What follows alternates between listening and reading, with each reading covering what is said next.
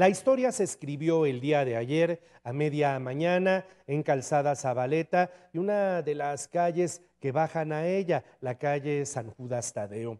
Es la colonia Santa Cruz Buenavista. Allí estaban en un gimnasio la mujer que ve en pantalla, Bielka Pulido, y un hombre que la acompañaba, un hombre mucho mayor que ella, ella en los 21 años, el hombre en los 38, 39 años de edad. Estaban en el gimnasio que se encuentra en esa calle. Afuera había un par de hombres que llevaba varios minutos en la zona caminando, merodeando, observando.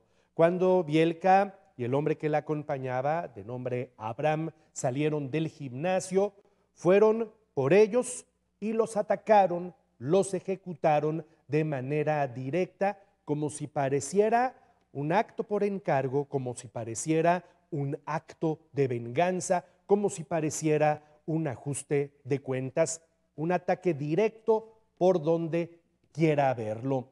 La historia de ella es una historia polémica, una historia que comienza en el año 2018, cuando queda grabado en video y subido a redes sociales una escena de humillación en la que ella somete a una compañera escolar, también adolescente, y la obliga a la compañera a arrodillarse ante ella para pedirle una disculpa por algún agravio. A partir de ese momento, ella comienza su vida de influencer, una vida muy disipada, una vida de mucha cirugía, de mucha fotografía, una vida que presumía que ostentaba en redes sociales.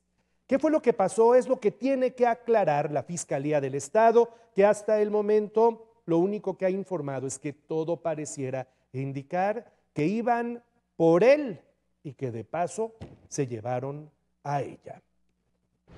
Así quedó grabada la ejecución a sangre fría de la influencer Bielka Pulido Lavendi, quien junto con un acompañante fueron objeto de un ataque directo que les arrebató la vida en la colonia Santa Cruz Buenavista. El reloj marcaba las 10 de la mañana con 26 minutos de este miércoles. La grabación del atentado empieza segundos después de que Bielka y el hombre salieran de un conocido gimnasio en esa zona. Se disponían a abordar un coche BMW de color blanco, estacionado sobre la calle San Judas Tadeo, casi esquina con la calzada Zabaleta. Él le abría la puerta a Bielka para que subiera. Mientras se aproximaba a ellos otro carro de color plata. Tan pronto llega a donde están, se detiene y desde adentro un tripulante les dispara. Aún se puede apreciar a las víctimas caer tras recibir los impactos. El copiloto de la unidad atacante desciende y sin piedad les propina varios tiros más para rematarlos. En menos de 13 segundos, y ante los ojos de dos franeleros que trataban de ponerse a salvo, los responsables huyeron con dirección a la calzada Zabaleta. A partir de ese momento fue que empezó toda una movilización de policías municipales, efectivos de la Guardia Nacional y agentes ministeriales de la Fiscalía General del Estado. Hasta el lugar llegaron familiares y amigos de Bielka. Consternados se acompañaban al tiempo en que avanzaban las indagatorias y trabajos de peritaje, que culminaron con el levantamiento de ambos cadáveres.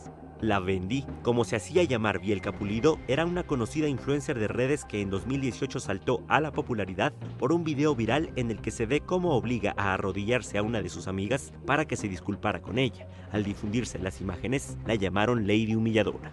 ¿Quieres? Ahorita le marco a mi mamá, le marco a mi papá, que vengan y que hagan un desmadre. ¿Quieres eso? Lo hago. Perdón, de rodillas. Yo tengo pedo, perdón. ¿Ya? No. Ah, No, quédate abajo.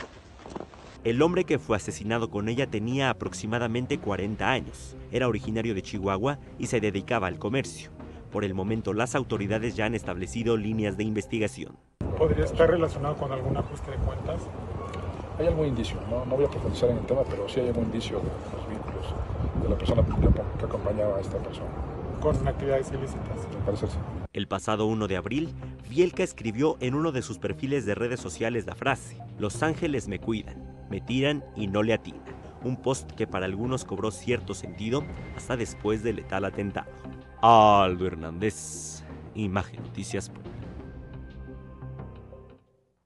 Habían pasado tres días de ese posteo. Los ángeles me cuidan, me tiran y no le atinan. Ayer le atinaron.